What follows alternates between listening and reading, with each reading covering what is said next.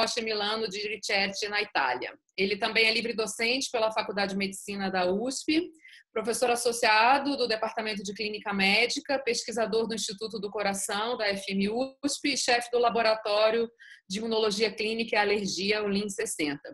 E é pesquisador 1A do CNPq. Ele atua em diversas áreas, mas bastante né, em pesquisa translacional nas áreas de imunologia celular e molecular de doenças humanas, com ênfase em um histórico exemplar é, em cardiopatia chagásica crônica e também na pesquisa de vacinas. É, é, também tem atuação em outras áreas de doenças infecciosas, autoimunes e alérgicas.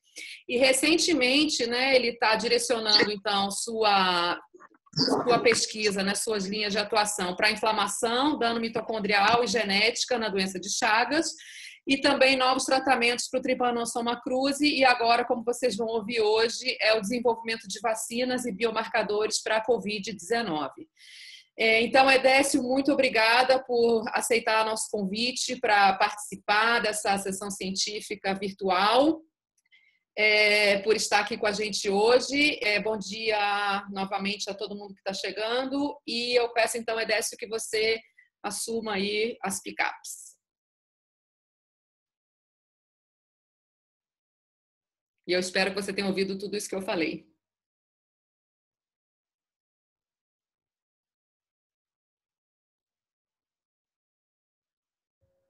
Doutor, o senhor ativa o microfone do senhor. Ativa o microfone do senhor, por favor.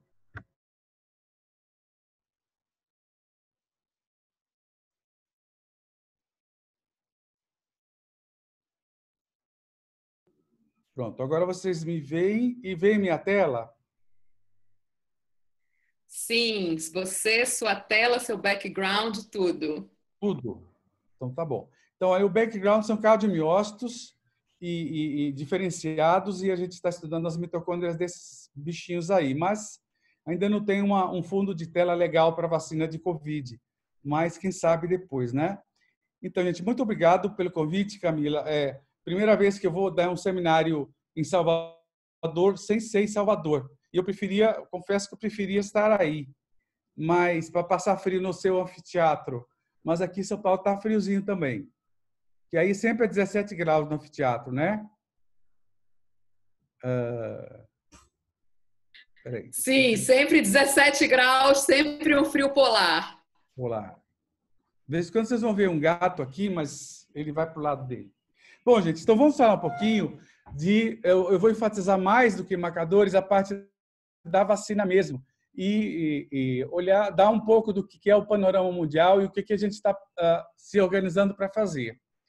Uh, então, o, o coronavírus é, é, o vírus foi descoberto nos anos 60 e ele era associado a vários animais, como é, tem, enfim, os, os, os, coronavírus circulantes habituais, uh, também chamados endêmicos ou, ou sazonais, uh, HK11 ou C43, CNL, parará, que dão em vários animais, são, são zoonoses que dão um resfriado. Tá? Então, de 11 a 45% das crianças com sintomas de, de, de, de, infecção respiratória aguda têm uma infecção ou co-infecção com esse vírus.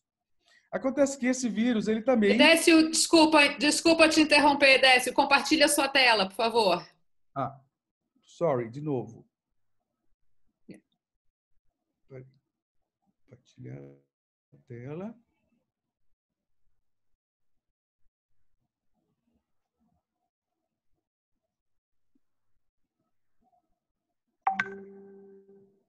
Agora apareceu? Agora.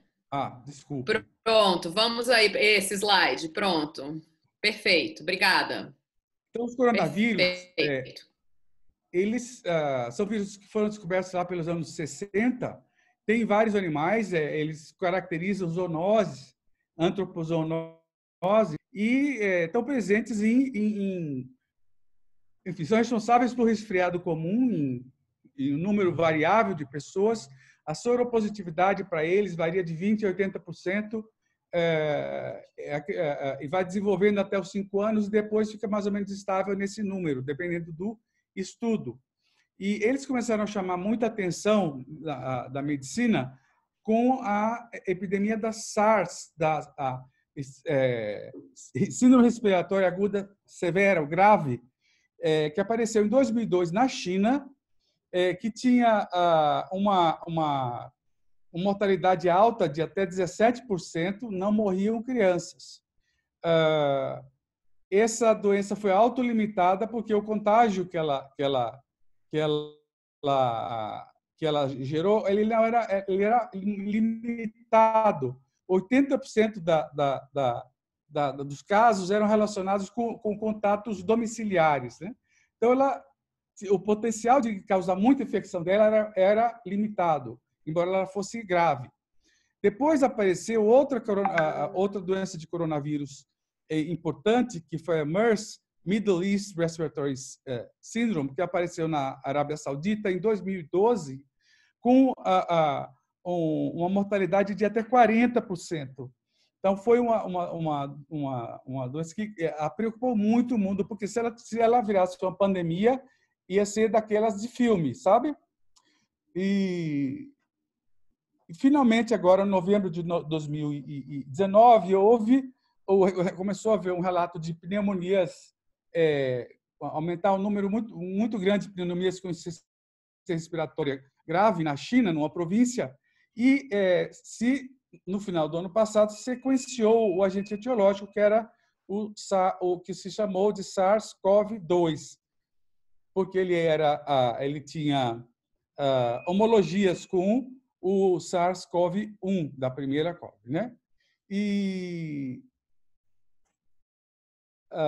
existe então a, a, a, a, letalidade ela varia de bom, varia por cálculos epidemiológicos mas ela está alguma coisa entre meio meio e 3% das pessoas que são infectadas e além dos cálculos epidemiológicos ela também varia em função da da, da, da, da enfim da exposição não somente da exposição que a pessoa tem mas ao, ao acesso a, a cuidado médico que ela tem né então o paciente ele pode é, perfeitamente sobreviver se ele tiver o melhor que a medicina pode oferecer, ou ele pode morrer inutilmente se ele não estiver sendo bem atendido.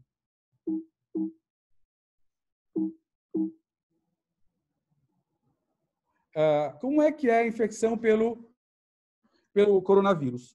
O coronavírus ele tem, naquela figurinha, dá para ver que ele tem essas, essas pontinhas de fora, essas agulhas chamadas spikes, é um vírus envelopado de RNA e, e esses spikes são as.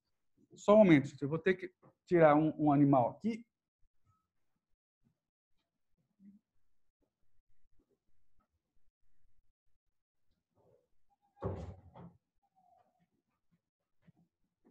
Desculpem a interrupção, porque hoje está home office e está mais complicado. Vocês estão me ouvindo, né? Sim, ouvindo, perfeito. Então, na infecção pelo, pelo coronavírus, a, a, uma região da proteína spike vai interagir com o seu receptor celular, que é o ACE2, a proteína é, é, enzima é, conversora do angiotensina-gênio 2, é, que por acaso é, é a enzima que, que converse, converte o angiotensinogênio em angiotensina e que participa dos mecanismos de de regulação, de inúmeros mecanismos de regulação, inclusive de pressão arterial e etc. Né? E após a, a entrada, o RNA é liberado e ele é traduzido em proteínas que vão gerar a montagem de um novo vírus que é uh, liberado.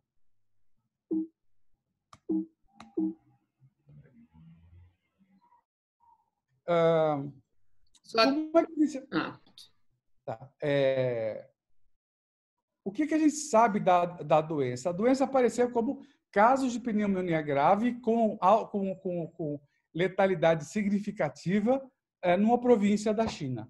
É, e, e, logo se observou, com, com, com, estudando a patogênese, a patologia, etc., que era uma doença que era caracterizada por uma carga viral inicial, é, que era seguida por, por ah, uma a, a, partir de, de, uma determinada data, como uma semana ou dez dias ou 12 dias depois do, da infecção, começava a ver o dano, dano clínico a, aos pulmões, aqui essa linha vermelha, isso tudo estava sendo acontecendo num período em que a, em que a inflamação mediada por citocinas circulantes e locais estava aumentando. E, e,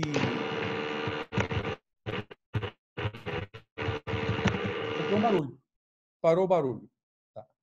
E uh, à medida que o tempo passa, em um subgrupo de, subgrupo de pacientes onde essa resposta inflamatória persiste, é, o dano a, a, ao pulmão vai continuar é, e ele vai uh, e, com isso você vai acabar tendo um risco aumentado de, de falência do órgão, ou seja, de insuficiência respiratória grave que vai precisar de ventilação mecânica e eventualmente uh, a uma falência de múltiplos órgãos que é o que leva à morte.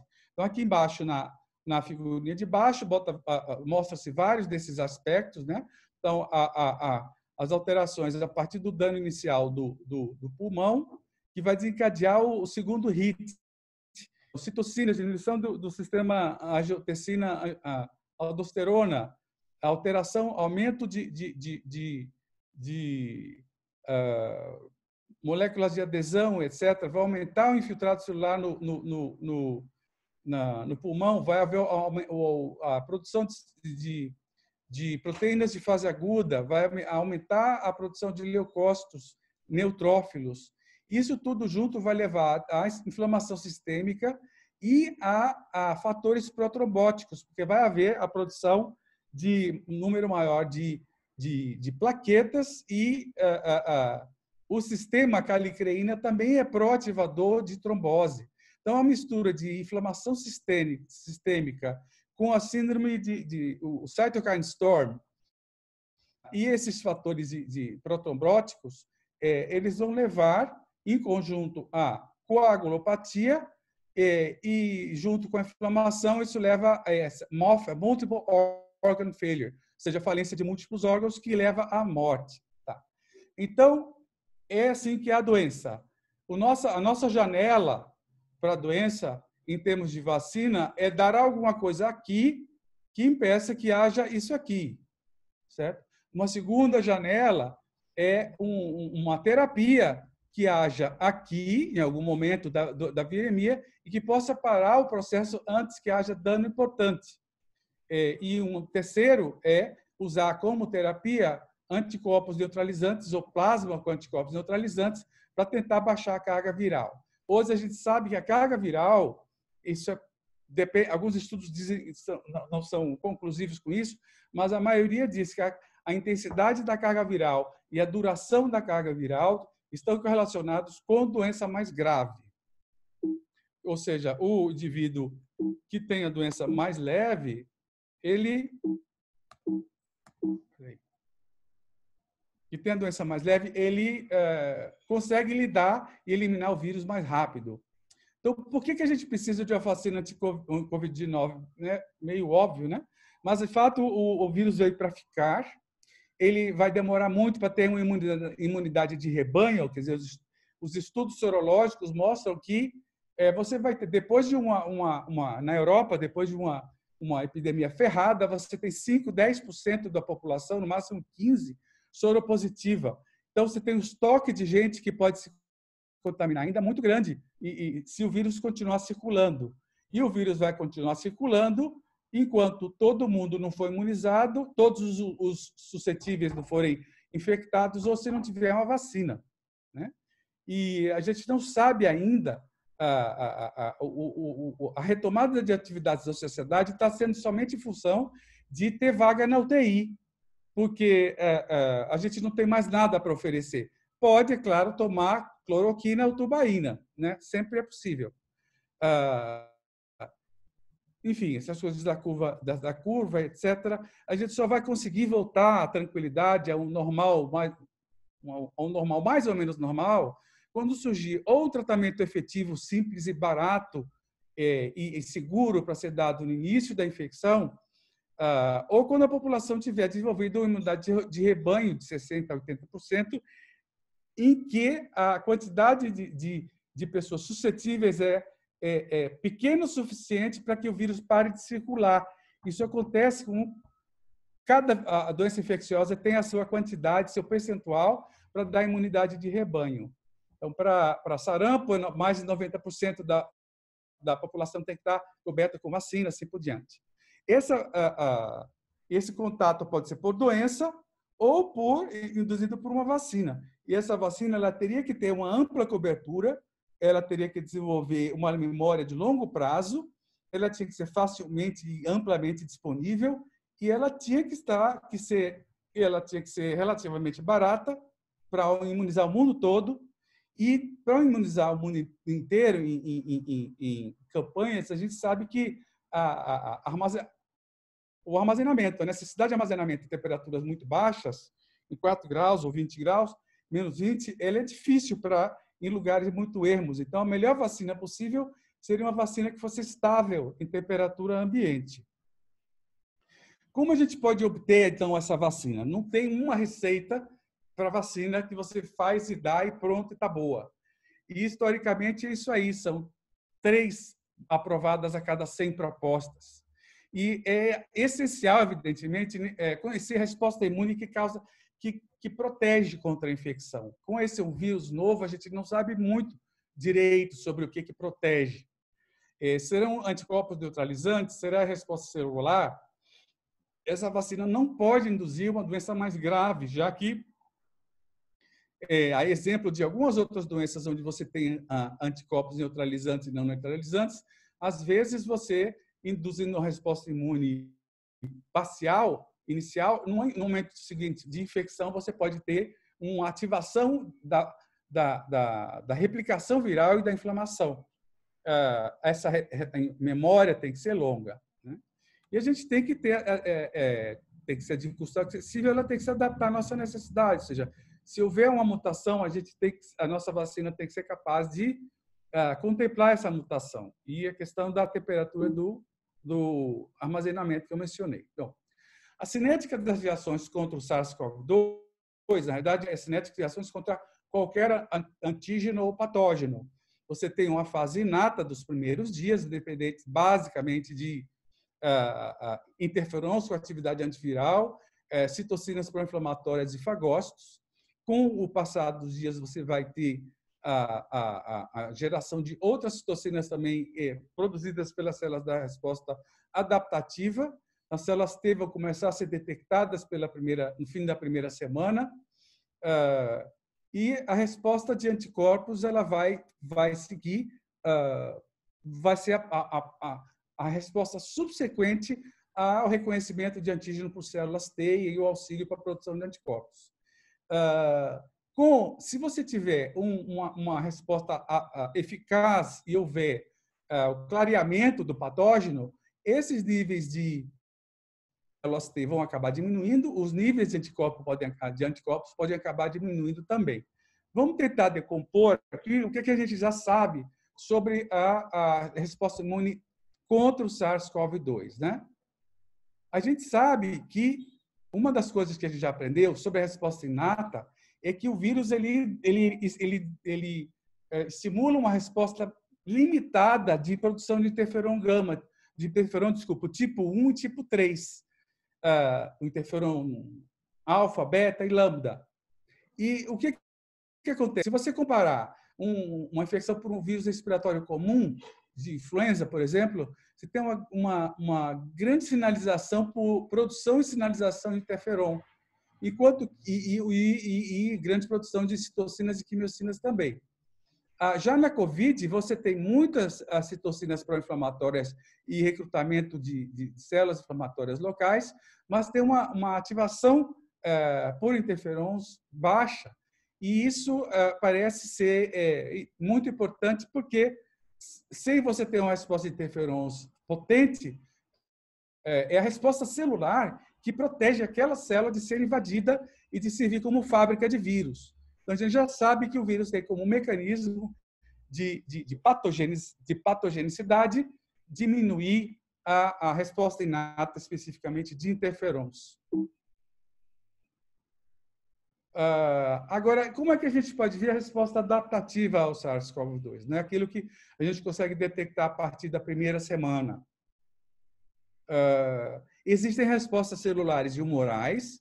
Essas respostas celulares e humorais contra a proteína spike, elas estão mostradas em gráficos aqui. Ah, no eixo X são os títulos de IgG e IgA contra a porção que, RBD, que é a que liga ao, ao receptor celular, e no eixo Y é a quantidade de células, ah, de células TCD4 específicas para o antígeno viral. E existe uma correlação entre as duas. Ótimo, celular e humoral. Bom, mas vamos tentar explicar melhor, dissecar melhor o que, é que acontece.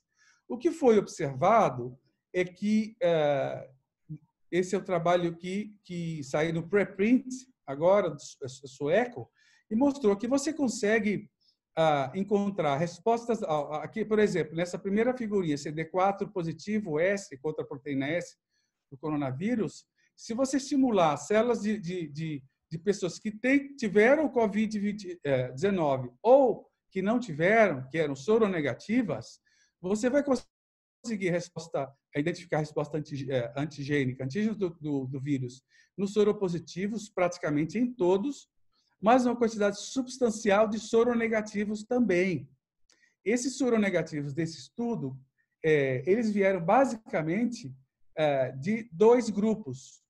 É, de um grupo de doadores de sangue de dois, do ano 2000, que é, foram por volta de 25%, é, e de pessoas expostas, é, que tinham 26 em 28 pessoas expostas que não desenvolveram a doença, apresentavam células T contra o, o, o COVID-2. E o engraçado é que esse grupo de 20, 28, onde 26 tinham células T, somente 17 eram soropositivos. Então, você tinha um número de, de 40% da, dos indivíduos expostos ao, por exemplo, exposição familiar ao, ao, à COVID, só desenvolviam aparentemente uma resposta celular e não moral.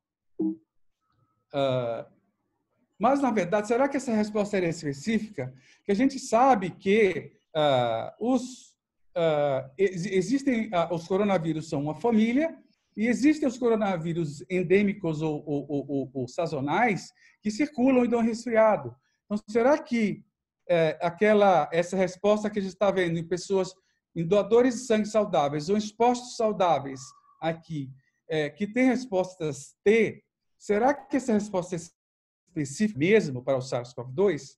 Na verdade, a gente não pode garantir com esses estudos, porque eles usaram um, peptídeos que, que cobriam a sequência do, do vírus inteiro. E esses vírus têm cerca, por aí, 50% de homologia e identidade com os coronavírus endêmicos. Então, uh, o primeiro trabalho do, do, do, do, do Alex Sete mostrou, mostrou isso, que é, 40% das pessoas não expostas e, e, e de, de, sangue do ano passado, por exemplo, que o vírus não existia, é, tinham respostas contra peptídeos do SARS-CoV-2. Eram os unexposed aqui. E, e, a, e a totalidade dos, dos que de fato faziam, é, tinham a doença. É, isso foi, foi para saber dessa questão da reatividade cruzada, teve um outro estudo que fez que comparou as respostas celulares ah, contra os peptídeos do, do, coronavírus 2, que estão aqui em cima, em sete pacientes e avaliou, avaliou também em contatos familiares de, é, de desses sete pacientes que tinham todos desenvolvido sintomas de infecção respiratória na, na, em época próxima a, aqui o caso índice apresentou.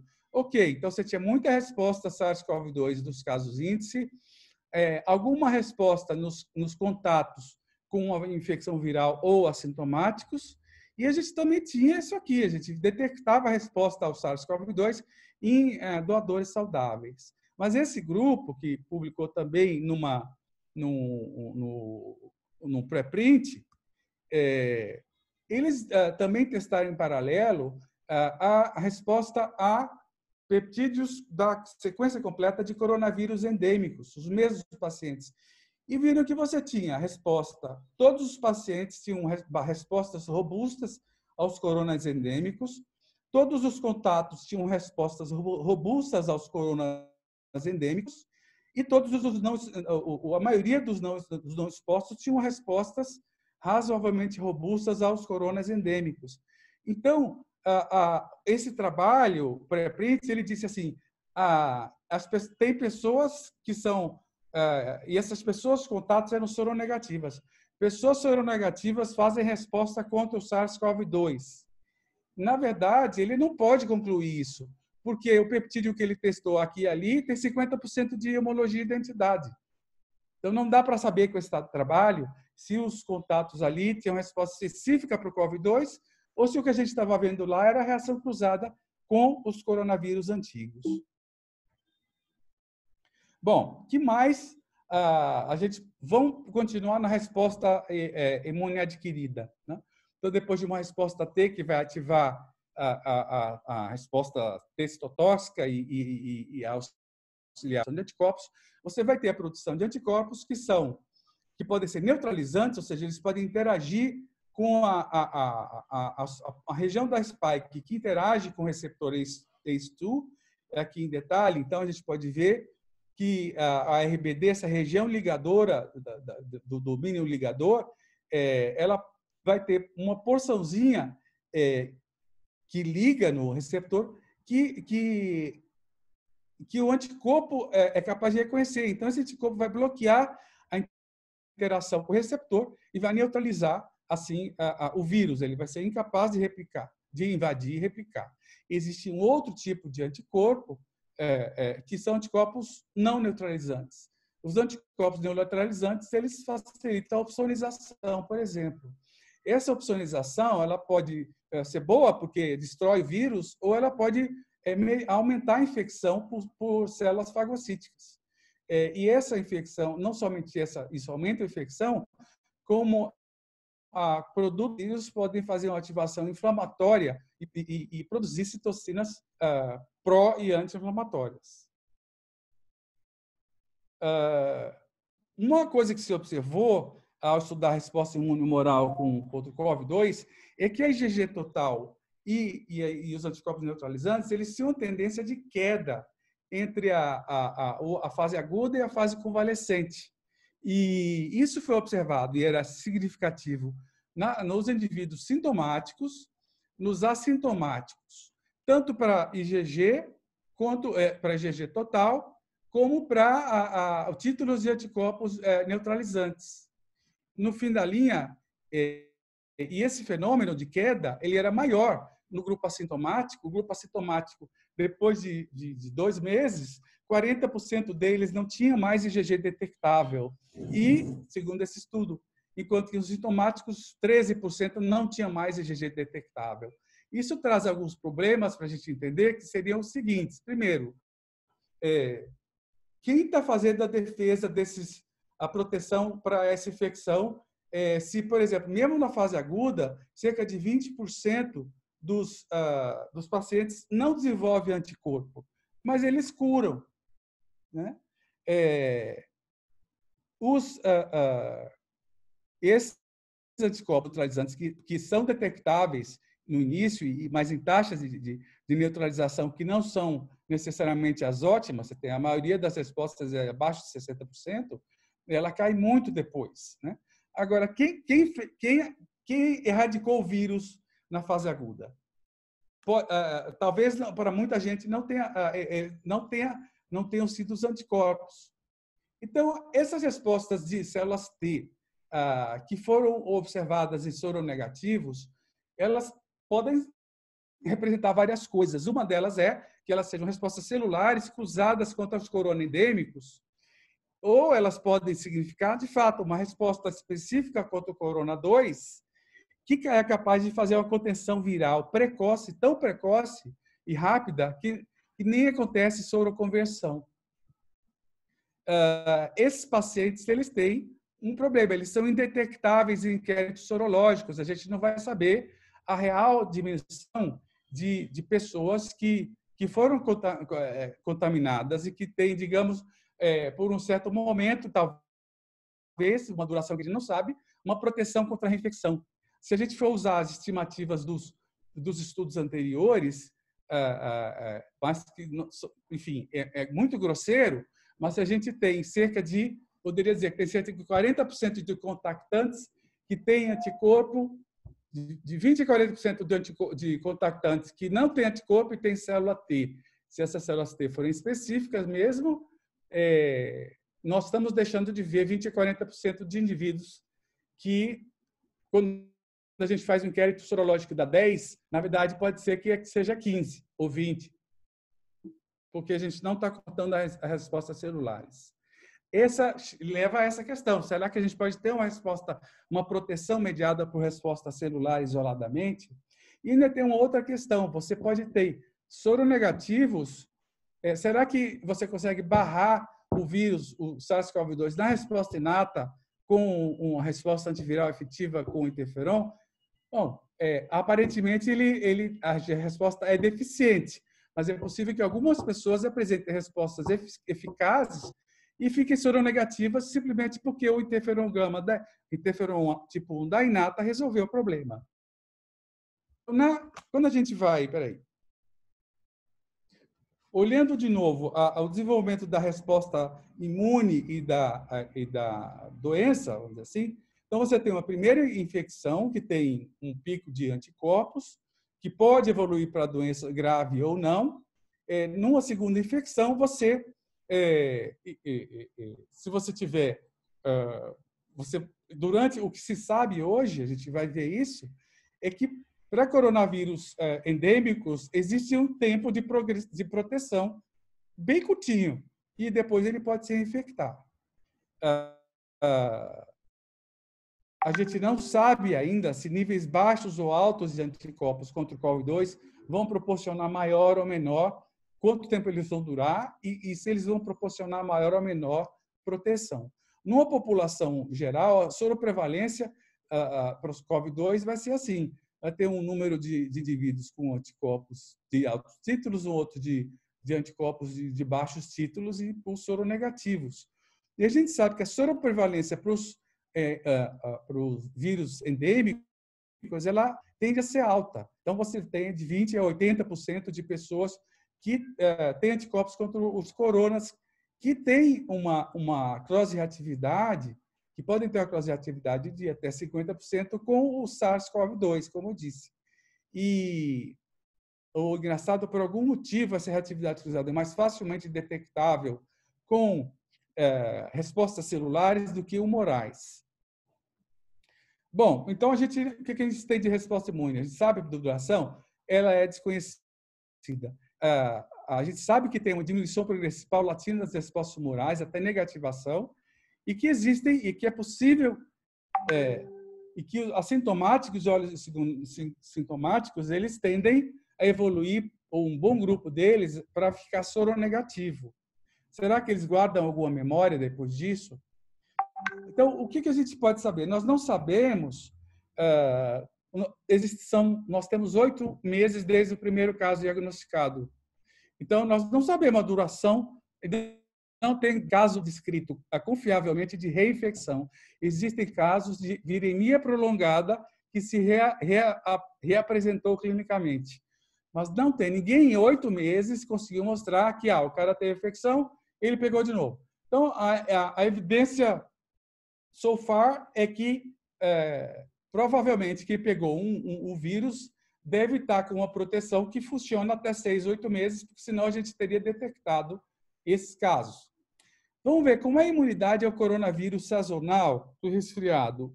Aqui nesse gráfico dá para ver a, a, a, cada pontinho é, é significa uma reinfecção é, por um dos coronas endógenos, tá? do coronas endêmicos.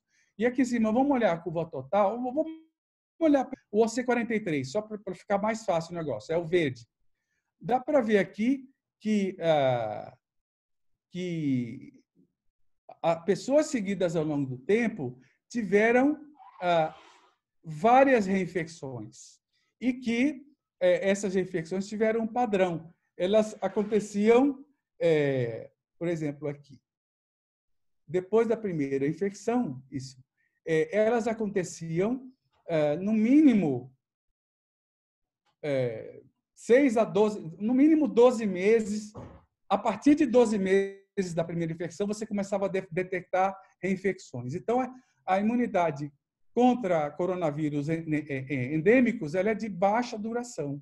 E o que se observou também é que os níveis de anticorpos contra o, o, o coronavírus endógeno, eles decaem rapidamente.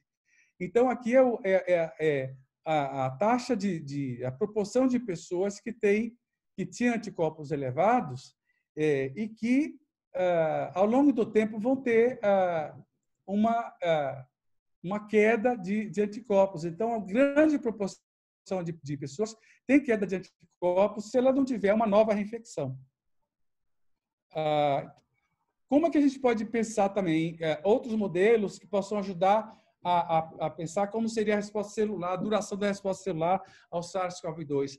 A resposta ao SARS-CoV-1, que tem uns 75% de homologia com o CoV-2, ela é uma resposta celular de longa duração.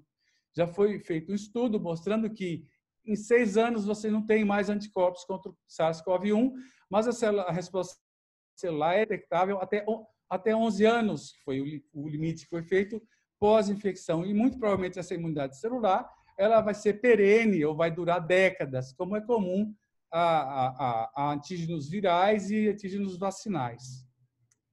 Então, a vacina ideal ela teria que elicitar uma resposta celular, que a gente sabe que vai ter uma duração longa e que é, possivelmente é, ela pode ser responsável pelo clareamento da, de respostas em, em, indivíduos uh, soronegativos, né, que, que, que têm a doença e são soronegativos e curam, e, ao mesmo tempo, a gente quer induzir uma resposta de anticorpos neutralizantes para bloquear essa infecção. Então, essa essa combinação do antígeno com o adjuvante, ou, ou na realidade, o, o veículo para a vacina, é, nós queremos que ela que, que haja o desencadeamento de uma resposta de anticorpo neutralizante e de células T citotóxicas que destruam células infectadas. Nada de novo. É, hoje em dia existem entre 150 e 200 vacinas de HIV, ah, desculpe, contra o coronavírus que estão em, em diferentes é, estágios de desenvolvimento. Tem cerca de 10 delas estão é, já em, estágio, em fase clínica, de 1 até 3. Duas em fase 3, ou seja, fase de teste de eficácia, que todo mundo tem avaliar, visto nos jornais. Essas vacinas elas usam várias plataformas, desde é, é, plataformas ah, usando o próprio vírus atenuado ou inativado, quer dizer, o inativado ele é morto morto quimicamente ou radiologicamente, o inativado ele é atenuado, ele é o inativado é isso, o atenuado ele é, é, tem uma capacidade replicativa diminuída. Você pode usar um vetor viral, colocar um antígeno viral num vetor viral, no outro, no vetor de um outro vírus que pode ser replicativo ou não replicativo.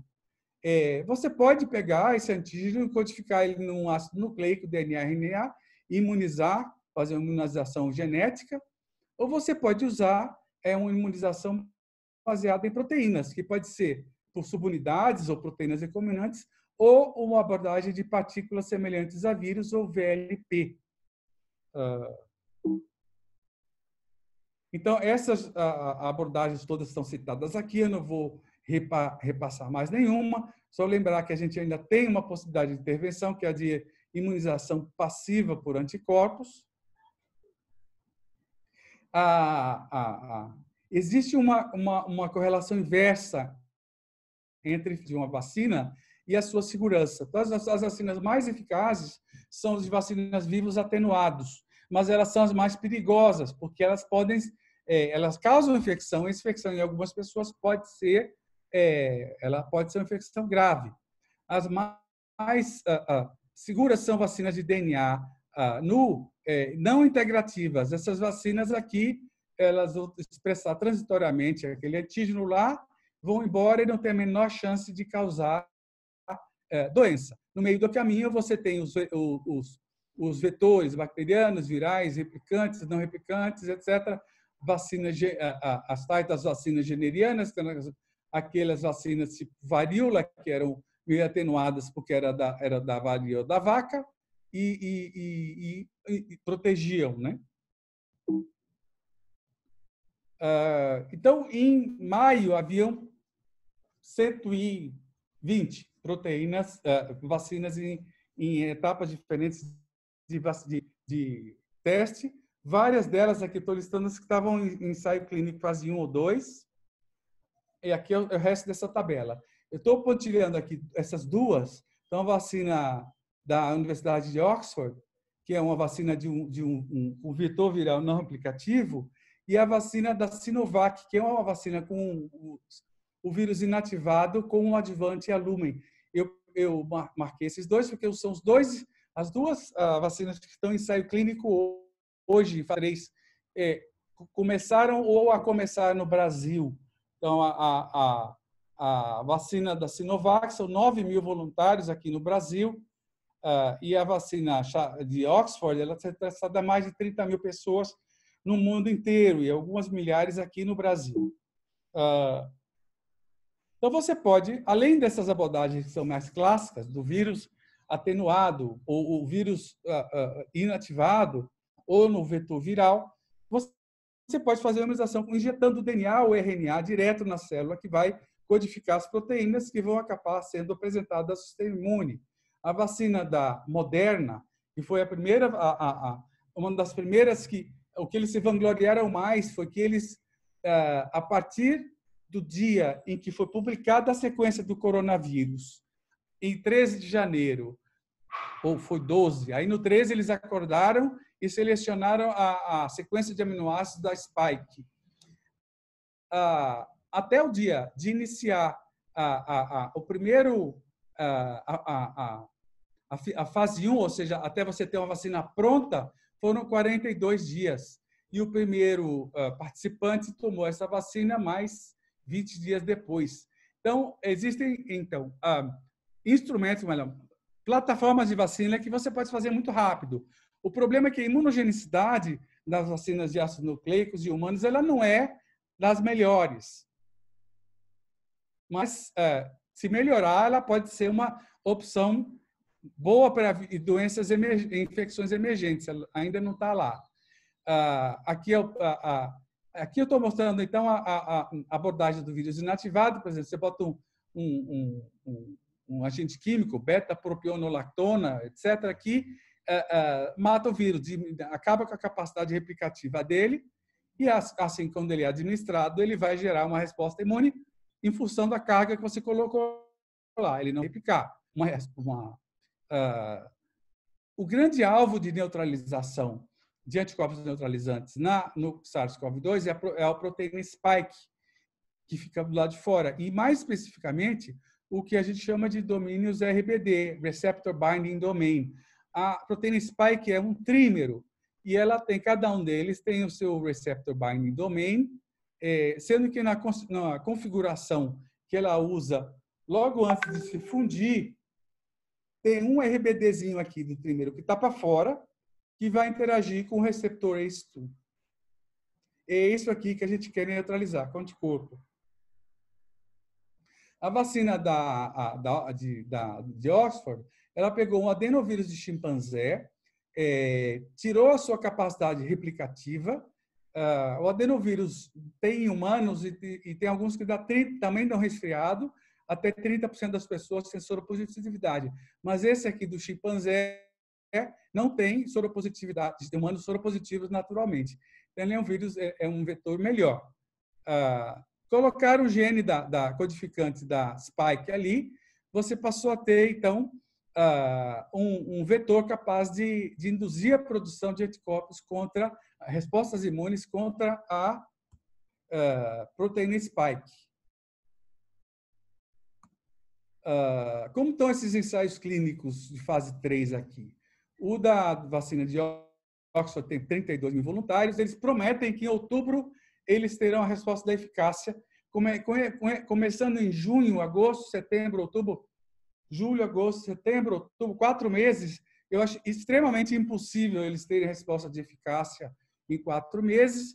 Eh, talvez em julho eles tenham essa resposta. Eles começaram a produzir bilhões de doses agora no prejuízo. Se a vacina não se mostrar eficaz, eles terão prejuízos bilionários. Mas se ela se mostrar de alguma eficácia, eles poder, ela podia ser, vai poder ser distribuída imediatamente. a da Sinovac está tem um número menor de voluntários. Tal. A Sinovac se deu bem porque o Brasil pagou o, o, ensaio clínico. A AstraZeneca se, se, deu bem porque doadores brasileiros pagaram o ensaio clínico. O Lehman, o, o homem da cerveja, da Ambev, deu dinheiro para o ensaio clínico da AstraZeneca aqui e fora. Ele não foi tão generoso com a nossa vacina, mas tudo bem. Uh, a gente não sabe qual vai ser a eficácia dessas vacinas e qual a duração de resposta, de proteção que elas vão ter. Então, é, é, é, tem três cenários. Elas podem não ser eficazes, elas podem ser parcialmente eficazes, porque imunizam uma fração das pessoas, ah, ou elas podem, e essa imunidade pode ter uma duração longa ou curta. Se a, a, a saber da, da, da imunidade contra o coronavírus e contra vírus respiratórios como influenza, a gente vai e, e a, a, é possível imaginar que vacinas desse tipo, que você bota a, a, coisa que tem um anticorpo neutralizante, é, essa vacina é, possa ter uma eficácia parcial e uma duração de imunidade que talvez não seja de muito tempo. Então, no meu entender, na, na, dificilmente a gente vai ter a vacina ideal, ótima, perfeita, essa aí, entre esse ano e o outro. A gente vai precisar de uma vacina de segunda geração. Tem, então, outras abordagens, como você usar subunidades da, do vírus, a própria proteína spike, M, etc. E uma abordagem de, de, de produção de, vira, de partículas vírus simile. Essas partículas elas têm várias coisas interessantes. Né? Uma delas é que você pode é, pela sua própria natureza, elas têm, ela, é, e o que você pode botar dentro, elas têm uma capacidade de, de se auto-agitar importante. Você pode fabricá-la do jeito que você quiser. Você pode botar os antígenos que quiser. Você pode colocar, ah, ah, ah, fazer diferentes, diferentes composições que vão, vão dar características físico-químicas de estabilidade diferente a essa a partícula vírus símile. É, então, por exemplo, então, bom, no, no, desenho vacinal convencional, você tem o vírus, você inativa ou atenua o vírus, tem uma vacina tradicional. Tem aqueles outros métodos, subunidade, etc.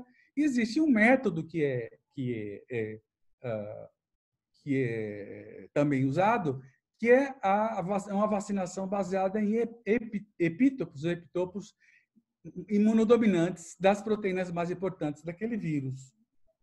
É, ele, a base da, é, da vacina de epitopos é você foco, dar foco na resposta imune para determinadas regiões que são mais importantes para a resposta protetora e desviar a atenção de, de regiões que uh, não sejam tão importantes para a resposta protetora. Lembrar que os vírus evoluíram em diversas espécies ao longo dos milhões de anos para se evadir das respostas protetoras. Então, se você consegue focar nas respostas protetoras, você pode dar uma, uma baila na, na, nessa uh, situação. Existem formas de sabe como encaixa na molécula MHC para ser apresentado por uma célula T. E uh, existem, então, possibilidades, a gente consegue usar a bioinformática para identificar potenciais uh, epitopos de células T, a gente pode saber se eles ligam as moléculas HLA que a gente quer testar. A gente pode testar a reatividade mesmo, o reconhecimento desses peptídeos por células de pessoas infectadas, eventualmente pessoas vacinadas depois. Mas se a gente tem, sabe, quais são os, os imunodominantes, a gente pode fazer uma vacina que contém esses epitopos e administrar em animais de teste, como camundongos ou primatas, e nós fizemos isso um tempo atrás com uma vacina para o HIV, com 18 epitopos que eram reconhecidos por mais de 90% dos pacientes infectados. Ah, e a gente viu esse quadro aqui só para mostrar que para cada um dos peptídeos da vacina, a gente fez um teste de ligação HLA, vários HLAs comuns. E onde está rosinha mostra que aquele peptídeo ele é ele liga naquele HLA então, o, cada HLA que, em média, ah, é, ligava a, a, há muitos uh, peptídeos diferentes da vacina. Então, 13 dos 17 HLAs que a gente testou podiam se ligar a pelo menos metade, ou seja, nove ou mais dos peptídeos da nossa vacina. Era uma redundância. Então, uh, não somente a vacina podia cobrir o HLA de muitas pessoas, porque esse era o método que a gente usava para selecionar os epitopos, como a gente ainda dava a opção dela reconhecer de um indivíduo com HLA, dele poder, eh, eh, a gente ofertar na vacina vários peptídeos que podiam ser apresentados por aquele HLA e, e, e serem reconhecidos pelo seu repertório. Nós vimos que em camundongos os transgênicos por moléculas de HLA de classe 2, nós conseguimos resposta humana, conseguimos resposta nesses camundongos restrita ao MHC de classe 2 para múltiplos epitopos. O camundongo DQ6, por exemplo, tinha resposta a 15 dos 18 epitopos. Uh, nós fizemos um experimento em macaco resto com essa vacina de DNA e uh, com eletroporação vimos que tinham resposta que eram predominantemente células de CD4 e que nos quatro animais que a gente imunizou, uh, cada animal reconheceu de 8 a 12 peptídeos. e, e e nove desses peptídeos foram reconhecidos em comum pelos pelo menos três dos quatro animais. Quer dizer, essa vacina ela foi capaz de gerar respostas imunes a múltiplos epitopos em primatas. Então, essa abordagem de escolher epitopos imunodominantes e promíscuos, ela é uma boa abordagem para você gerar uma resposta celular ampla e uma resposta celular ah, ah, não somente ampla, como intensa. Essa resposta a gente conseguia milhares de no spot, 2 mil, 3 mil, 4 mil uh, spots. Essa com essa abordagem a gente fez em, em um número uh, grande de patógenos e para vários desses patógenos, nosso grupo e outros, utiliza, uh, utilizamos esses peptídeos para fazer vacinas.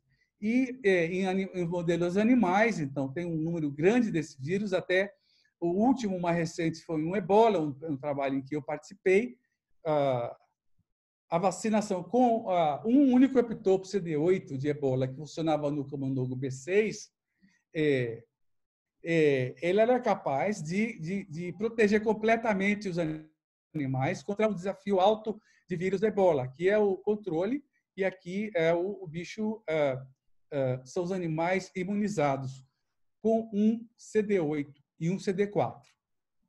Uh, existe uma busca hoje para vacinas é, universais, por exemplo, para a influenza. As vacinas atuais elas são baseadas em, em anticorpos contra regiões que, que variam de uma estação para outra. E é, se, se quer as vacinas, se elas têm regiões é, conservadas, elas podem é, é, primeiro, você não precisa ficar repetindo a vacina somente porque o vírus variou, porque você está dando a vacina para a região constante. E talvez essas respostas, as respostas celulares, elas são mais duradouras. Se você puder dar uma resposta protetora e duradoura, mais duradoura, você tem uma resposta da vacina melhor. A gente tem esse problema de otimizar, que é como é que a gente chega do vírus inteiro até aquele, é, aquele sete, ótimo de epítopos imunodominantes que a gente vai enfrascar na vacina com um vetor qualquer. Nós usamos, então, é, é, informações como a capacidade de ligação HLA prevista desses epitopos, as frequências de HLA de uma determinada população, e o que a gente quer no fim é selecionar peptídeos que cubram pelo menos 95% da população em termos de HLA e botar um número razoável de peptídeos lá que cubra que cada HLA possa apresentar várias vezes. A nossa estratégia, então, é de coletar o sangue de pacientes convalescentes. Nós já coletamos 210. Nós vamos fazer seleção de peptídeos mais reconhecidos em ensaios de ELISPOT para inclusão na vacina. Nós temos já 66 peptídeos que foram selecionados pelas suas predições de, de ligação a, ao HLA de classe 1 e classe 2. Uh, ah, a segunda abordagem nossa é a identificação de epitopos é, de, de anticorpos viralizantes, então do sangue de pacientes, eh, do soro de pacientes eh, eh, convalescentes, nós vamos ah, fazer uma varredura de peptídeos na região RBD, região ligadora, e, usar esses peptídeos em ensaios de neutralização, inibição de neutralização, ou seja, a gente vai saber que peptídeos são capazes de inibir a neutralização de, de um vírus por um anticorpo neutralizante. Selecionados, então, os, os epitopos T e os, os, os epitopos neutralizantes, é, ou a própria a, a, a spike ou a, região RBD inteira, nós vamos colocar os epitopos T e, a, e os epitopos de anticorpos neutralizantes, ou como peptídeos sintéticos, ou como proteínas que vão se pro, ficar protrusas na membrana, e nós vamos então testar em animais. Na realidade, são animais de fundo B6 e, e, e animais B6, fundo B6, é, que são transgênicos para enzima convencionante, para o receptor do vírus humano, que é muito mais a, a, a, ávido pelo, pelo vírus da SARS-CoV-2 do que o do camundongo. E a gente vai fazer testes de proteção, de desafio. É, esses testes, então, vão, ah, vão ser seguidos. Nós queremos fazer uma pequena etapa de, ah, de, de, de primatas para avaliar a resposta e vai ter, vão haver os testes pré-clínicos de toxicidade e segurança. Ela está pronta para ir para os testes clínicos até a produção. Nós queremos fazer, uh, nós queremos testar em paralelo mais de um tipo de vetor vacinal. Existem vetores vacinais fáceis de construir, por exemplo, você coloca seus antígenos ou peptídeos em uma nanopartícula. É, nós temos já colaboração para fazer isso, nanopartículas que podem ser administradas nasalmente, com o pessoal da farmácia da, da, da USP. Ah, ah, esses, esses vetores teriam, então, esses epitopos imunodominantes e epitopos neutralizantes individuais da RBD ou a própria proteína inteira. Né? Ah, nós podíamos fazer a VLP e nós temos uma, nós estamos montando uma VLP de vírus da leucemia murina que é capaz de expressar os nossos epitopos aqui na, na, na região numa proteína de fusão da, da VLP e a gente transfecta essa célula com, as, com, as, com, com o spike, por exemplo, para que ela você tenha uma partícula no final que expresse que, que, que, que expresse spike por fora e que te, codifique é, é, e que tenha a proteína a, a difusão contendo os epitopos que você quer. Essa abordagem já foi feita em especial com essa VLP para vários patógenos, ela já já foi já se viu para ensaios fase classe 1 e, fase 2 contra vírus da hepatite B uh, na China. Essa tecnologia foi transferida do laboratório do David Klatzmann é, da Universidade de Sorbonne para lá. E nós temos a colaboração com o Davi Klatzmann e com o Hugo Lujan, onde nós vamos é, é otimizar a, a, otimizar a combinação dos epitopos T com a spikes que tem a cara que vão estar mais ou menos disponíveis para a interação com anticorpos neutralizantes.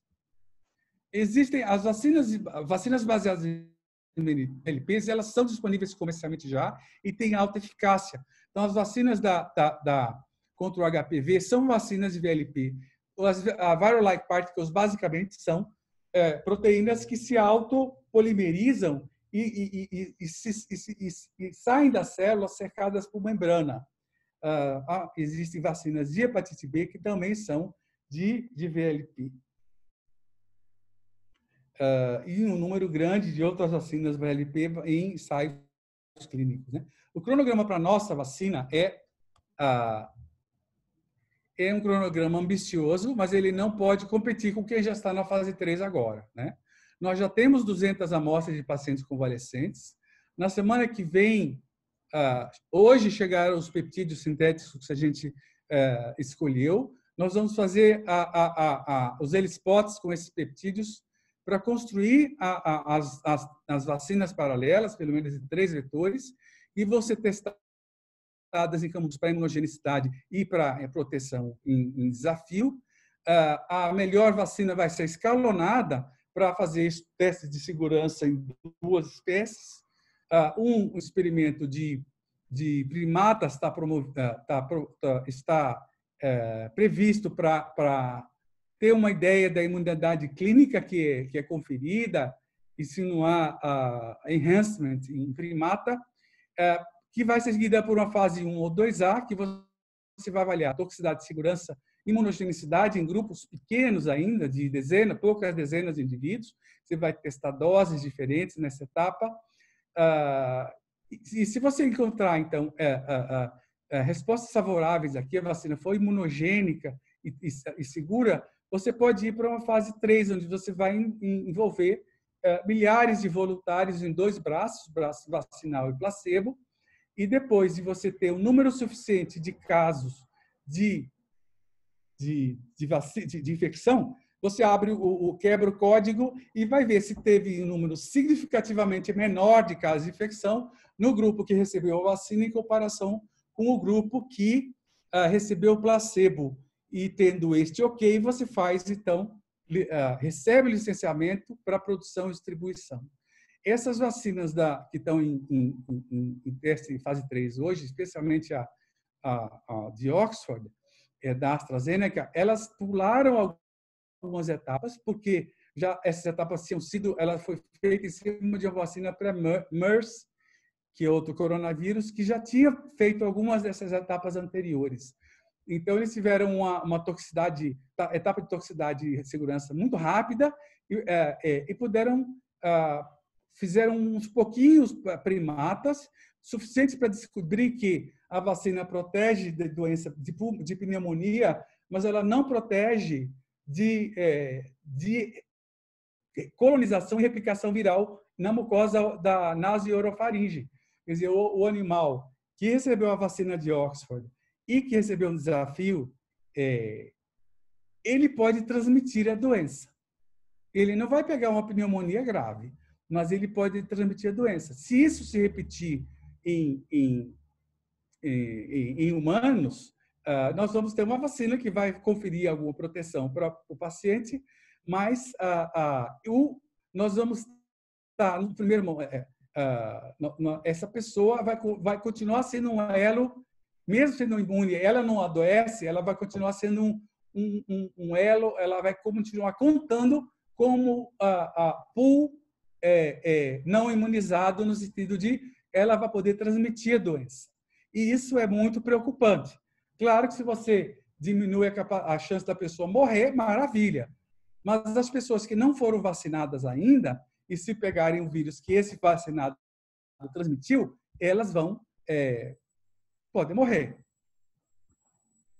Então, na pesquisa e desenvolvimento de uma vacina, a gente falou por alto, essas etapas aqui são é, a, a, a, identificação, produção, teste de animais, a gente tem a prova de conceito. O desenvolvimento pré-clínico é quando a gente faz, tem um produto que a gente pode testar em humanos, que a gente vai aprimorar a, a dose, posologia e etc.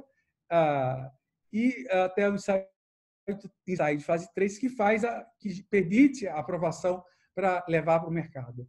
A, a, a, a, AstraZeneca e junto com o Instituto do Serum Institute da Índia prometem fazer 2 bilhões de doses até meados do ano que vem. O Brasil já comprou, o governo brasileiro comprou 30 milhões de doses é, antecipadamente da AstraZeneca. E se o ensaio clínico funcionar, vai comprar mais 70. Esse é o plano. Ah, se não funcionar, são, é esse dinheiro jogado meio que no lixo. Mas, enfim, a situação agora é, é muito excepcional. Ah, ah, esses ensaios, é, o desenvolvimento de uma vacina, normalmente demora muito tempo. a parte de descoberta demora de 1 a 10 anos, a parte até a fase 1, 1 barra 2, de 2 a 3 anos, o ensaio clínico de fase 3 demora de 2 a 4 anos e, e cerca de um ano, pelo menos, até para a fase regulatória. E a gente quer hoje é, encurtar tudo isso em um ano ou um ano e meio. É uma coisa. A, menor, a vacina mais rápida do mundo até hoje foi cinco anos. Veremos.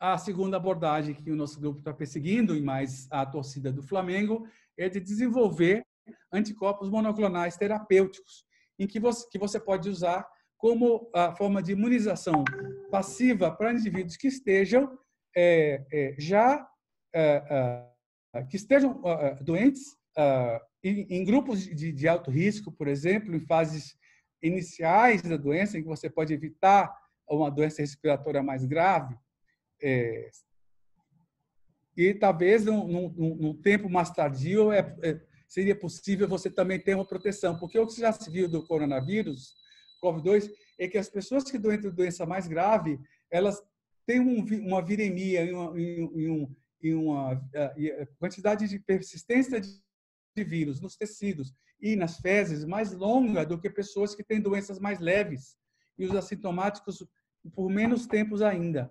E, paradoxalmente, quanto mais grave a pessoa é e mais tempo ela ficou com, com, a, com o vírus detectável, mais anticorpo ela produz e mais anticorpo neutralizante ela produz. Os indivíduos que têm, ah, nesses programas de você coletar, pegar soros de pacientes recuperados, eh, que têm anticorpos neutralizantes para tratar pessoas, outras pessoas que estão com a doença, o que se observou é que os pacientes que foram para o ventilador mecânico e ficaram 30 dias no hospital têm mais anticorpos totais e muito mais anticorpos neutralizantes do que pessoas com doença leve. É paradoxal ou não é? Não é tão paradoxal, porque em todas a gente sabe que a maturação de, de, de anticorpos, o affinity maturation, acontece se você tiver quanto mais exposição ao antígeno, mais afinidade de, de, de maturação vai ter, melhores os anticorpos de fazer o que eles querem fazer. O problema é que nesses pacientes, eles, os neutralizantes chegaram na hora errada. Os neutralizantes bons chegaram na hora errada. Né? Eles não estavam presentes no início da infecção, que é o que a gente quer numa vacina. Ah, o desenho experimental para fazer um, mono, um monoclonal, e essa é a parte que a Silvia Boscardin faz no nosso grupo, é a de ah, isolar ah, células B de pacientes que têm anticorpos neutralizantes, é, separar suas cadeias, clonar as cadeias K-lambda, transfectar células eucarióticas que secretem esses, essas essas imunoglobulinas. Ah, isso aqui você tem para um indivíduo, você consegue dezenas ou centenas de clones diferentes.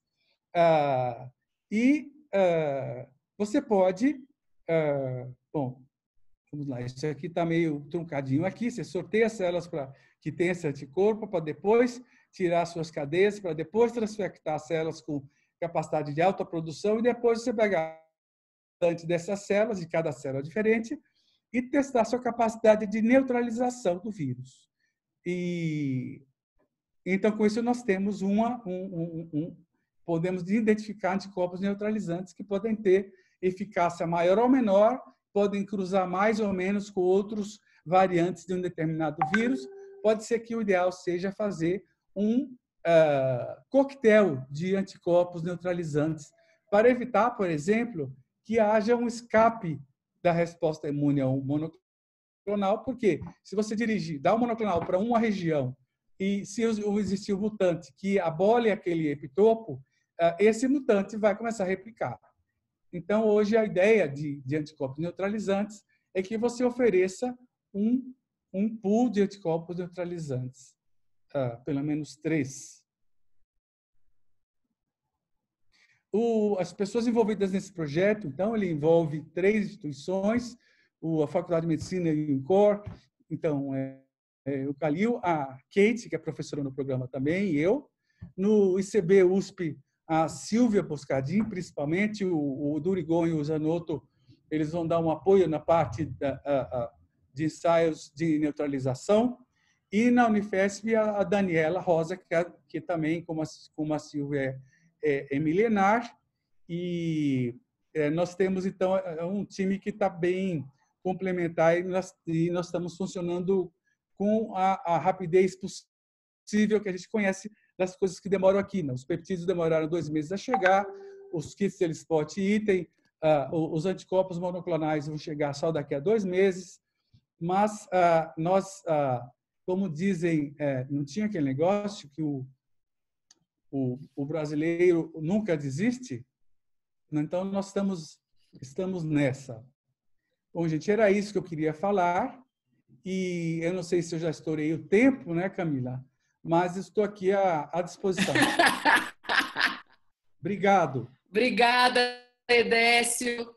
Obrigada, gente. É, sim, passou um pouco do tempo, mas eu acho que foi importante porque você trouxe uma abordar, uma, um panorama da resposta T, que é o que a gente não vê né, nas palestras usualmente, porque é, desde que tudo isso começou, o enfoque no, no linfócito B e no anticorpo foi tremendo, né? E se esqueceram completamente. Foi esquecido o pobre do linfócito T.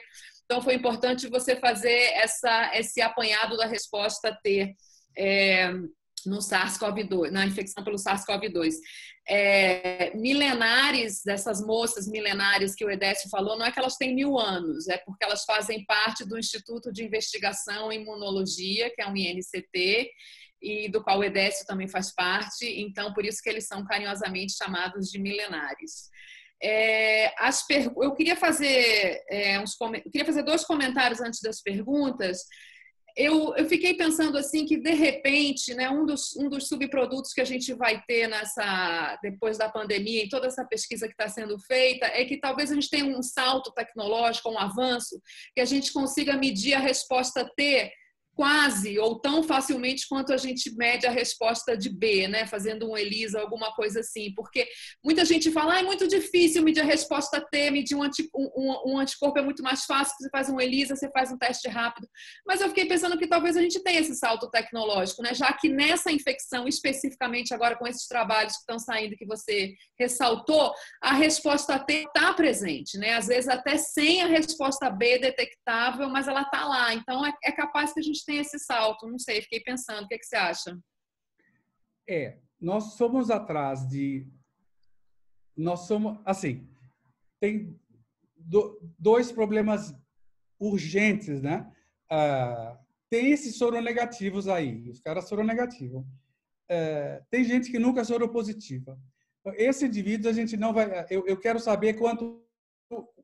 Se eu tenho imunidade com a proporção de pessoas com contato eu não vou saber, enquanto não tiver um teste de células T, que eu possa fazer em larga escala. E hoje nós estamos tentando desenvolver, na verdade, desenvolver. Já tem N trabalhos na literatura que as pessoas pegavam é, uma das piores etapas para você fazer a resposta celular, você vai ter que fazer o FICOL e vai demorar três horas e você não vai conseguir fazer, processar é, mil PBMCs como você pode processar mil soros no dia. Mas existem metodologias que você pode fazer isso no sangue total, ou por determinação de citocinas, ou por citometria, ou por uh, detecção de RNA de mensageiro de citocinas. Então, nós, no momento, agora está correndo um teste, nós estamos uh, uh, padronizando um desses testes, que era o mais rápido de todos, que permite que a gente ponha até centenas de, de testes no mesmo dia, que é um baseado em, em em detecção de citocinas. São protocolos que já existiam, é, é, a gente adaptou. Tem uns protocolos bem interessantes que você não precisa nem de placa nem de fluxo laminar. Você pode ir lá na, na, na Amazônia, se quiser, fazer no, no, tudo no tubinhozinho. No máximo, se você quiser, bota uma vela ou um bico de Bunsen para proteger a contaminação. Não sei se vocês quem é mais da minha geração já trabalhou na época que não tinha fluxo laminar. Você pegou essa época, Camila, ou não? Não, não. Mas era, na minha época não tinha. Então, a gente tinha que trabalhar estéreo sem fluxo. Eu acho que vocês todos vão ficar com o cabelo assim, né? Em pé. Mas é, dá para fazer se você tiver tubo, é, é, é, é skill, paciência, vitamina, enfim. Ah, nós estamos tentando, então, miniaturizar para fazer essa tecnologia virar high throughput. Espero que em duas semanas a gente saiba. Para fazer um é, inquérito Bom, recebemos... É, a gente tem muitos parabéns para você, claro, muitos, muitos desejos de sucesso para a vacina, tudo mais. Eu vou fazer as perguntas aqui que surgiram. Então, uma delas é quais tipos de nanopartículas estão sendo testadas por vocês? Tá. Nós estamos testando, estão sendo incluídas na, na agora, nós estamos usando nanopartículas de quitosana uh, do grupo do Stefano, da Faculdade de Farmácia. É, eu acho que é, sempre tem notícia sensacionalista do, do, de qualquer né, é, é, epidemia que dá medo nas pessoas, mas saiu um tempo atrás lá uma, uma reportagem que dizia assim no título: Vacina contra a Covid será, estará pronta em três meses e custará menos de 100 reais. Aí dizia subtítulo assim: vai ser aplicada no nariz. Então, essa é, o Stefano tem, ele tem uma vacina que ele já fez em modelo e que imunizou o animal contra desafio, é, se não for engano, foi para raiva, influenza talvez, é, por aplicação intranasal. Então, nós já estamos com epitopos neutralizantes B, que a gente definiu, e, e, e por enquanto, um, um, um, enfim, um helper T universal, e a gente vai começar a imunização desses animais na próxima semana. Uh, em seguida, uh, vão chegar, uh, nós vamos fazer os nossos telespots e teremos os nossos, os nossos epitopos de estimação para colocar dentro da vacina, que vão ser colocados nessa nanopartícula de quitosana, que é né, o, no, o nosso objetivo, então, é de, é de criar vacinas que tenham administração mucosa e que sejam, é, é, especialmente, sejam termo resistentes, que elas sejam possam passar o tempo em temperatura ambiente, porque para facilitar então a o uso e até repetição, né? É... Se você tem uma vacina de que é um spray nasal, uma gota uma gota na língua, é muito mais fácil você repetir isso do que uma vacina, se for necessário, do que uma vacina parenteral de agulha. Claro. É, não seria interessante estudar também a resposta, porque vocês estão, vocês estão estudando a resposta dos, dos, pacientes, dos pacientes convalescentes, né? É, não seria também interessante estudar a resposta dos assintomáticos, mas acho que já tem um estudo disso, né, da China, no Nature Medicine, acho que foi a resposta T de assintomáticos. Sim. Eu estou certa ou, ou você... Você está certa. Tem, como eu mesmo mencionei é, é, é na apresentação, uh, pessoas é, pacientes né? 40% dos expostos eram soronegativos, mas tinham respostas T. Naquele caso, não se sabia ainda se era específico ou não. Nós, agora, temos peptídeos que a gente sabe se, que se, quais são compartilhados com corona endógenos e quais não. Então, nós vamos comer, conseguir deter, determinar é, o assintomático que tem uma resposta específica para o corona, para o COVID-2. Agora, ótimo, a resposta do assintomático que, que foi exposto, a gente pode dizer, ah, o cara que é assintomático e no anticorpo e não tem célula T, como é que eu vou saber se ele foi, se ele simplesmente não foi exposto ou se ele foi exposto e, e a resposta imune dele é fantástica? Tem duas hipóteses para isso. A resposta, a resposta inata dele, fantástica, é. né? Porque tem que ser. É. Ou, assim, se ele não tem resposta nem humoral nem celular, ou ele não foi exposto a inóculo suficiente, ou a resposta inata dele é ferradamente boa. Se ele tem uma resposta celular, mas não dá para a gente saber qual dos dois hoje. Se ele tem uma é. resposta celular e não tem moral, a gente sabe que ele foi exposto ao antígeno e ele clareou o vírus, é, é, é, é, o convalescente, clareou o vírus sem precisar de anticorpo. Tá? E, e a gente está atrás dos grupos de, de assintomáticos, em especial é, pares discordantes, que são é, é, casais em que o marido pegou, porque o homem é um bicho mais fraco, pega uma doença e morre mais. E a mulher ficou cuidando aí desveladamente do marido e se descuidou da proteção e etc. E na fase pré, pré, pré, pré uh, sindrômica, pré-clínica, é, eles dormiam na mesma cama e faziam as coisas que as pessoas fazem quando dormem na mesma cama. Ou seja, trocaram fluidos. E, então não tem, não tem como. Houve grande exposição, mas tem vários casos. A gente, amanhã atas está colhendo esses casos, aí a gente vai ter acesso a uns 30 e com tempo um pouco mais. Uh, e, e, então vai dar para testar a, a, o, o, perfil da resposta dos assintomáticos, esses são zero bala mesmo, né? É, você não incluiu peptídeos para linfócitos B? Sim, a proteína spike é um dos, do, do, uma das proteínas né, que, cujos peptídeos Sim. são reconhecidos por linfócitos B. É interessante ter apoio de grupos brasileiros liderados por Jorge Calil e Ricardo Gazinelli. Então, como o Edécio falou, essa é uma iniciativa que envolve Jorge Calil né, e outros colegas do INCOR. E tem uma outra iniciativa na, em Minas Gerais, Ricardo Gazinelli também utilizando um, um influenza vírus modificado também para imunizar. Então, são duas é, estratégias de desenvolvimento de vacina correndo em paralelo, duas estratégias brasileiras. Então, isso está acontecendo é, temos que nos preocupar com acho que ADE, acho que a pessoa está se, tá se referindo a, a, a enhancement né, da infecção por, pela presença de anticorpos neutralizantes, mas como o EDS também, acho que o EDS falou, se não falou, mas eu vou falar, não tem estudo mostrando que existe enhancement da infecção pela presença de anticorpos neutralizantes, tá certo? É, pelo menos não foi demonstrado formalmente. Para o COV-2, não. Para o SARS-CoV-1, houve in vitro, mas nunca houve uma, uma comprovação que esse fosse um mecanismo é, um mecanismo real, até porque a, a, a infecção, a, a duração da, da, da, do surto do COV-1 foi, foi rápido e ela acabou. Então, as pessoas não tiveram chance de se reinfectar para saber se elas iam, é, se podiam ter uma doença pior. É, você acha que a vacinação com BCG pode estar reforçando essa imunidade inata dessas pessoas que, que fazem o clearance viral muito rápido antes de ter detecção de anticorpos e ou de células T?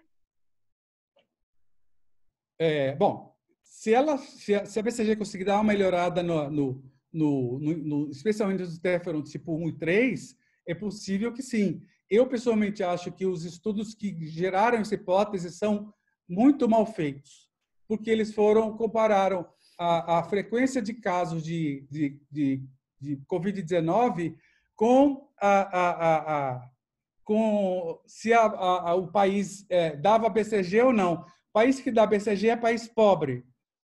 País que, que não dá BCG é rico. País rico testa muito. País pobre testa pouco ou nada.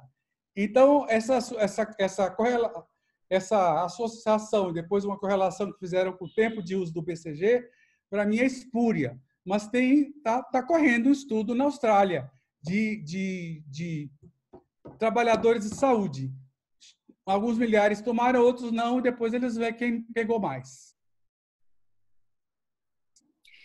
É, queria fazer é, mais um comentário, as nossas perguntas encerraram, mas assim, é, eu queria discordar de você na questão do, do, do desenvolvimento da, do, da, testagem da vacina, né, da AstraZeneca aqui, porque assim é um investimento, né, digamos assim, mas é um investimento um pouco no, no gamble, né, assim, vai dar certo ou não vai dar certo, a gente não sabe.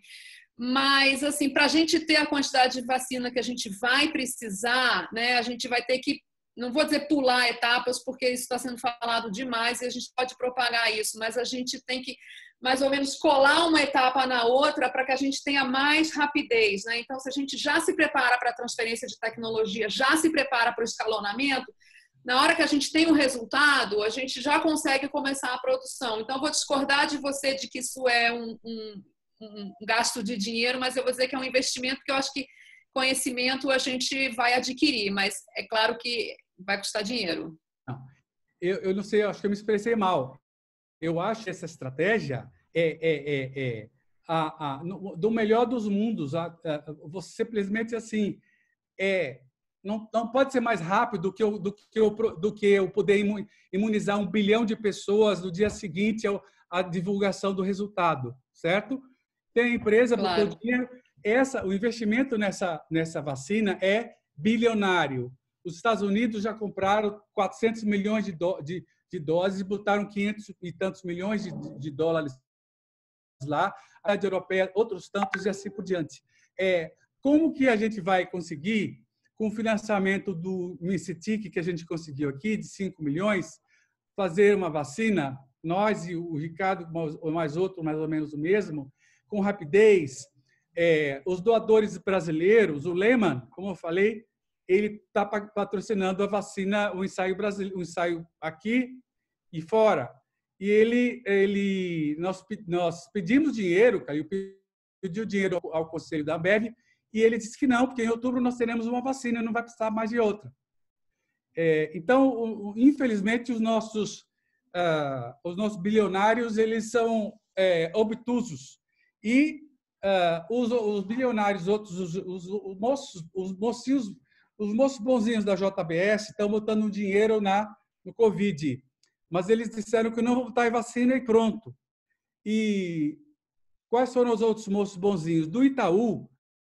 Botavam botaram um bilhão de, de reais em medidas de é, é, para melhorar a, a, a, melhorar a app, melhorar a capacitação uh, de instrumento de hospitalar, UTI e tal. Eles botaram dinheiro para isso. Agora, isso significa o seguinte, que os o governo deu uma migalha, até que deu, mas os, o, o, os nossos é, é, bilionários, eles são obtusos e eles ah, realmente não devem ter estudado imunologia na faculdade. Os JBS não foram para a faculdade, para falar a verdade, né? E, e, então eles não sabem que ou, ou eles não sabem que, a, que, não tem vacina que se garanta que vai funcionar antes da, da, da hora e, e, segundo que não tem, na nossa situação atual não tem outro jeito que não vacina, porque a cloroquina e tubaína não funcionaram. Se vocês conhecerem milionários, é, milionários que, que, e vocês que são imunologistas podem convencê-los que é o único jeito e que é para eles entrarem em contato com o Jorge Calil, o Ricardo Gazinelli e a Décio Cunha Neto, que a gente vai cuidar muito bem do dinheiro e, e fazer a vacina rápida. Nós estamos lá trabalhando overtime para isso. Ah, sim. E tem um Eu monte volto de vaga... tudo para a questão. Ah. E tem um monte Diga. de vaga de, de para pós e pós, de, de, de pós-graduação e pós-doc. Quem quiser, por, por, por, que vai surgir agora, agora e ao longo do, dos próximos seis meses do ano. Quem achar legal essa possibilidade, fale com a gente de trabalhar com a gente. Ótimo, ótimo. Então, é, posso disponibilizar depois o e-mail do Edécio, então quem quiser fazer uma pós-graduação ou um estágio pós-doutoral em São Paulo, Avenida Paulista, proximamente, é, já está convidado a se inscrever. Eu queria só compartilhar aqui com vocês, antes de, de terminar, uma iniciativa do jornal New York Times, que é essa daqui é o Coronavirus Vaccine Tracker. Então, eles colocam aqui em tempo real todas as vacinas que estão sendo desenvolvidas, estágio pré-clínico, fase 1, fase 2, fase 3, e tem uma aprovada, que é da Sinovac, que está aprovada para uso restrito em militares, é uma vacina chinesa para militares da, da, da China. Então, isso daqui eu acho que é uma boa plataforma forma para comprar todas essas vacinas que estão em desenvolvimento, saber é, quem está financiando, que fase que elas estão, etc. Edécio, eu queria te agradecer novamente pela disponibilidade de estar aqui com a gente, é, de dar essa aula e colocar o estado da arte do desenvolvimento da vacina é, brasileira. Então, muitas pessoas falaram sucesso na vacina de vocês, mas eu vou eu vou dizer sucesso na nossa vacina, né? Porque vai ser uma vacina do Brasil feita por brasileiros. Então, muito sucesso na nossa vacina. Obrigada novamente. A palestra vai ficar disponível no YouTube a partir de segunda-feira. Desejo a todos um bom dia e está acontecendo, vou dar um aviso rápido aqui, está acontecendo uma outra sessão paralela aqui, que é a de premiação dos estudantes de iniciação científica. Vocês devem ter recebido o link por e-mail, então corram lá para prestigiar também nossos alunos jovens. Obrigada, Edécio. Um ótimo dia para você e até a próxima presencialmente em Salvador. Com certeza. Tchau. Você sabe o restaurante que você vai me levar. Tchau, tchau, querida. Sei, com certeza. Tchau, beijo. Bom dia.